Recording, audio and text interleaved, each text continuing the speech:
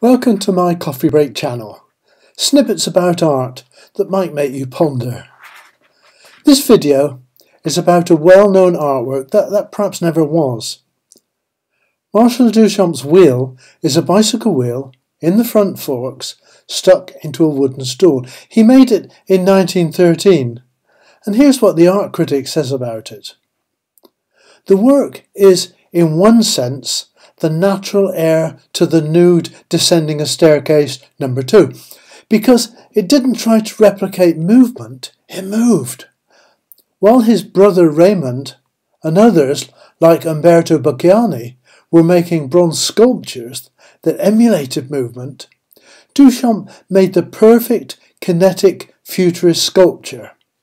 Its futile gyrations most likely also harboured a schoolboy allusion to masturbation.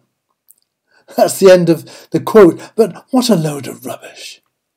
Probably was never an artwork, and Duchamp didn't exhibit it, but he kept it in his studio.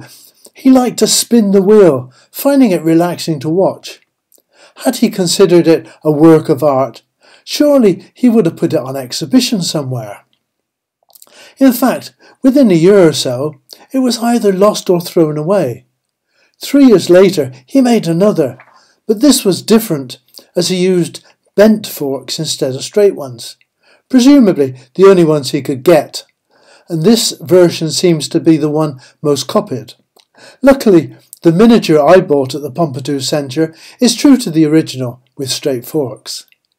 And the second one he made also soon disappeared, perhaps some sort of indication of the value he put on it at the time.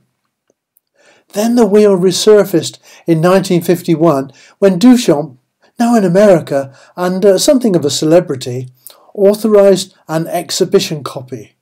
And he wrote on it Marcel Duchamp, 1913 1959. Yes, 1959, although it was made in 51. This is the one on show in the Museum of Modern Art. It was at this time that Duchamp coined the phrase ready made to describe it, although you could easily argue not really a ready made, Duchamp himself constructed it. There are many authorised copies, including one made in 1960 in Stockholm, a version made by Richard Hamilton in 1963, and an edition of eight created by Gallery Schwarz in Milan, 1964. Today, it seems that you cannot go around any major art gallery without seeing a copy, authorised or not. A similar fate to his equally famous Urinal.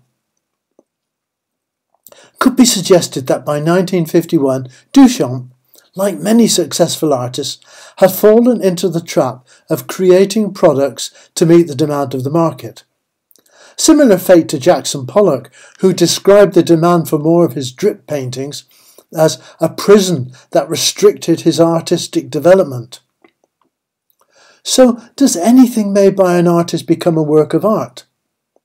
Does a tinkle on a piano by a great composer automatically become a masterpiece?